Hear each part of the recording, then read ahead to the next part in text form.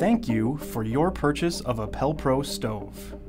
Please take care to use appropriate safety equipment such as protective gloves as stove edges can be sharp. There are four bolts holding your Pelpro PP60 stove in place on the pallet. First, loosen the two retaining bolts on the back of the stove and remove the right side panel. Second, reach in from the right side of the stove to access the pallet bolts. Using a 7 16 inch wrench, remove the bolts from each corner. Now, repeat these steps on the left side to be able to remove the stove from the pallet. Replace the side panel and proceed with the placement of your stove. After removing the box, you will need to remove the unit from the pallet. First, remove the right side panel by loosening the screws on the back. Next, remove the bolt using a 7 16 inch wrench and pull the tab from the top to remove it. Repeat these steps on the left side to be able to remove the unit from the pallet. When choosing where to place and install your Pelpro unit, take extra care to ensure it meets or exceeds all minimum clearances to combustibles. Consider the unit dimensions within the desired space and how it will be vented. Also be sure to check your manual for the specific clearances and venting and termination cap requirements. A non-combustible hearth pad is required when installing a Pelpro unit on a combustible surface. The hearth pad must extend a minimum of 6 inches on each side of the unit and its front lip must extend 6 inches beyond the unit's door glass. Keep in mind, prevailing wind direction, nearby trees, and roof profiles may all affect your ventilation. Pelpro units are designed and tested to vent two ways, vertically or horizontally through an exterior wall. Venting the unit vertically to the roof line is recommended. If you choose to vent horizontally through an exterior wall, adding at least 4 feet of vertical rise to any horizontal termination is strongly recommended. In the event of a power outage or unit shutdown, the vertical rise will help allow the unit to continue to draft to the outside and reduce the amount of smoke that may enter your home.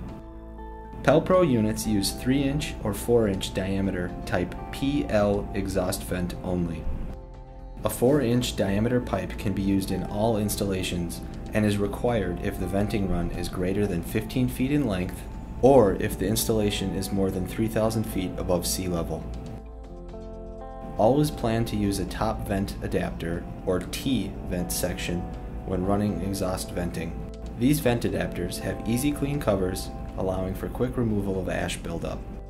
Be sure to seal all interior venting connections thoroughly with high temperature RTV silicone and always add at least 4 feet of vertical vent to any install.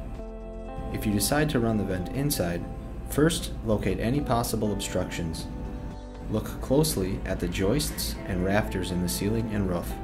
Venting will need to run between these. Always be sure to never cut through joists or rafters.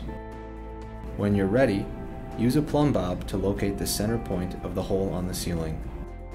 Next, cut the hole, frame the opening, and install the fire stop spacer and venting into the attic area.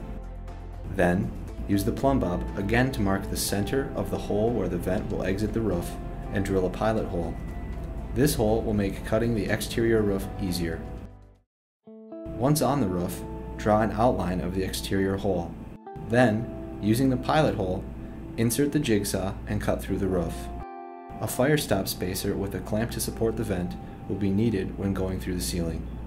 Any venting installed into an attic or area that has insulation must use an insulation shield to keep debris from coming into contact with the venting. Refer to the installation instructions and codes for more details. If the room has a ceiling that is open, or has no joists or rafters to support venting, use a roof or cathedral support box, a box cut to the angle of the roof and fitted to support the vent with a clamp. To ensure proper venting and prevent smoke and odor from entering the room during a unit shutdown, a minimum of 4 feet or 60 inches of vertical pellet vent is recommended. This length includes both the interior and exterior run. A T, or cleanout adapter for removal of ash from the exhaust system, must also be installed. To install the optional 200 pound hopper extension onto the PP130, first remove the two screws from the hopper lid. Remove the lid from the top of the unit and then remove both lower side panels. Once the lower side panels are removed, install the metal brackets on the outside of the unit. Place the hopper extension on top of the unit and snap into place. Next attach the hopper lid to the top of the hopper. After installing the hopper extension and lid, reattach the left and right side larger bottom panels on the unit first. Don't hesitate to visit pelprostoves.com for additional resources or contact Pelpro Consumer Care by phone at 877 427 3316. Please have your model and serial number ready.